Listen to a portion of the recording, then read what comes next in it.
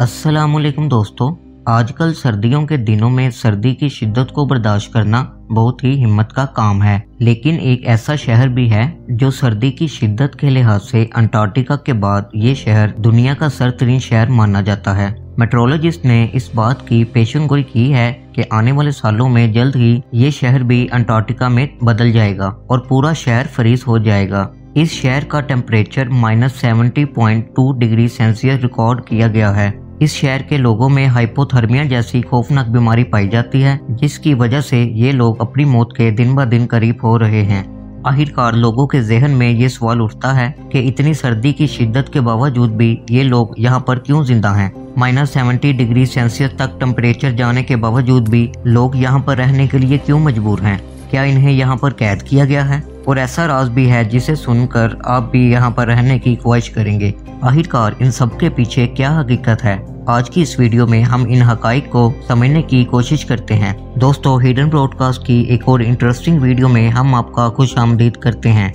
दोस्तों, जिस तरह अंटार्कटिका के बारे में कहा जाता है कि यहाँ वही लोग जाते हैं जिन्हें मौत से मिलने का बहुत शौक होता है। इन्हीं इलाकों में से एक इलाका यकूस्त है, जो रशिया का एक तरक्की पजीर शहर है। आखिरकार यहाँ पर इतनी सर्दी क्यों पड़ती है? दरअसल इस शहर में एक लूना रिवर भी पाई जाती है, जो कि यकुस के नॉर्थ में अंटार्कटिका ओशन में गिरती है, जो कि सर्दी की बड़ी वजह है। इस शहर में कुदरत का एक अजीबो करीब मुजाहिरा भी देखने को मिलता है, जिसे अगर हम देखें तो शायद अपने ऊपर इस कुदरती मुजाहरे को अजाब समझें। यकूस्त में हर पाँच मिनट के वफे के बाद स्नो फॉलिंग शुरू हो जाती है, और ऐसा वहाँ के लोगों के लिए कोई भी बड़ी बात नहीं है। जिन गाड़ियों को हम आजकल इस्तेमाल करते हैं, अगर उन गाड़ियों को इस शहर में ले जाया जाए तो तीन घंटे लगातार चलने के बाद इन गाड़ियों का रेडिएटर अपने आप टूट जाएगा और फ्यूल भी जम जाएगा। इसलिए यकूस्ट में खास किस्म की गाड़ियाँ इस्तेमाल की जाती हैं, जो इतनी सर्दी की शिद्दत के बावजूद भी यकूस सिटी से ओइमाकॉन सिटी तक 928 किलोमीटर का फासला, जिसे ये बगैर किसी रुकावट के 21 घंटों की लंबी मुसाफत के बगैर तय कर सकते हैं। लेकिन एक मसला और भी है, और वो है खतरनाक बर्फानी तूफ़ान का, जिसकी वजह से इस शहर में कई ऐसे वाक़ पेश आए हैं, जो इस बर्फानी तूफ़ान की नज़र हो गए। जब यकूस सिटी में लोग रिहाइश पजीर होना शुरू हुए थे तो उसी दौरान यहाँ रोड पर तीन लोगों की जमी हुई डेड बॉडीज मिली, जिसकी वजह से लोग यहाँ पर आबाद होने से पहले चल बसे। और अब आप ऐसा सोच रहे होंगे, इन दिनों ये सब इसलिए हुआ क्योंकि लोग इस इलाके के बारे में इतना खबरदार नहीं थे। लेकिन इस शहर में इतनी जिद्दत के बाद एक ऐसा वाक्य पेश आया, जिससे लोगों ने सफ़र करने से इनकार कर दिया। 2018 में दो लोग रात के वक्त यकूस सिटी से मैगदान सिटी जा रहे थे, और उस रात सर्दी की शिद्दत भी बहुत ज़्यादा थी, और यकूस शहर का टेम्परेचर माइनस पचास डिग्री सेल्सियस से भी ऊपर जा चुका था। इसी दौरान ही अचानक इनमें से एक को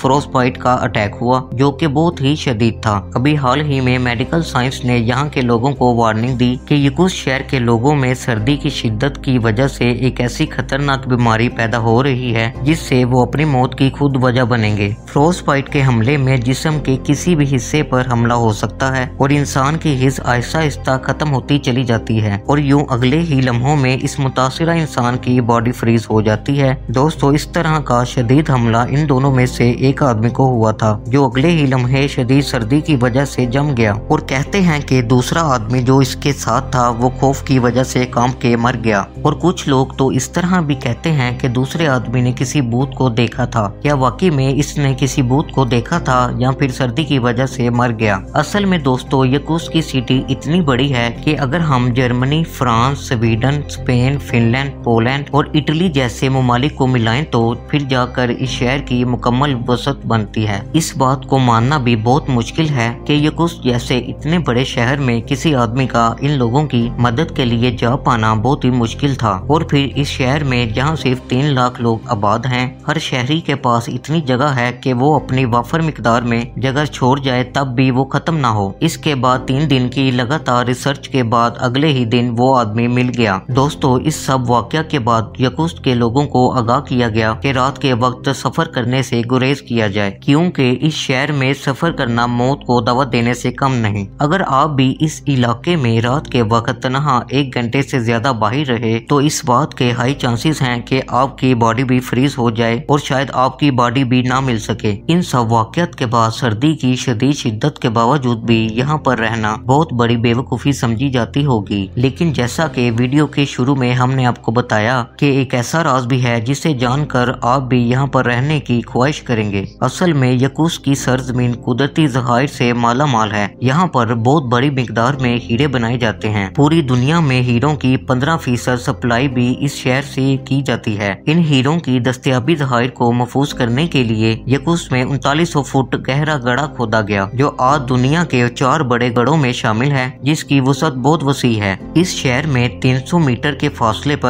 आपको बड़े बड़े बर्फ़ के ब्लॉक्स मिलेंगे, जिसे लोग तोड़कर अपने पीने के पानी के तौर पर इस्तेमाल करते हैं। इतनी ज़्यादा तादाद में बर्फ़ महीनों तक ऐसे ही रहती है, क्या कभी यहाँ पर सूरज निकलता होगा? इस शहर के रहने वाले लोग सूरज की रोशनी को देखने के लिए महीनों का इंतज़ार करते हैं, और जब कभी यहाँ सूरज तुलू हो जाए तो तब भी यहाँ कोई इफ़ेक्ट नहीं पड़ता। इन सब की सबसे बड़ी वजह ग्लोबल वार्मिंग है, जिसकी वजह से इन इलाकों में आने वाली रोशनी जज्ब होने की बजाय टकरा कर वापस चली जाती है। इसलिए वेदर फोरकास्ट के लोगों ने इस बात की पेशन गोई की है कि आने वाले सालों में ये जगह भी अंटार्कटिका की जगह ले सकती है और पूरा शहर फ्रीज हो सकता है। इस शहर के लोगों में हर चार में से तीन लोग हाइपोथर्मिया की बीमारी का शिकार होते हैं, जिसकी वजह से इन लोगों में चलने, फिरने और देखने में बहुत मसला दरकार होता है। यहाँ मौजूद लोग तो बाहर सैरो तफरी के लिए बिल्कुल नहीं जा सकते, क्योंकि अगले ही लम्हे मौसम तब्दील हो सकता है और आपकी मौत की वजह बन सकता है। सबसे बढ़कर जब ये लोग किसी ग्रोसरी स्टोर में से सब्ज़ियाँ और फल खरीद कर लाते हैं तो वो घर आने से पहले ही जम जाते हैं। जिन्हें बाद में हथौड़े से तोड़ा जाता है और यूँ इन लोगों को घर की चार दीवारी में मसूर होकर रहना पड़ता है। इंसानी ज़िंदगी की मिसाल ऐसे है, जैसे जेल में रहने वाला कैदी, जिसको उम्र कैद की सजा हुई और वो उसे भुगत रहा है। दोस्तों, उम्मीद करता हूँ आपको ये रिसर्च पसंद आई होगी। वीडियो को लाइक कमेंट और शेयर करना मत भूलिएगा। आज के लिए इतना ही, खुदा हाफिज।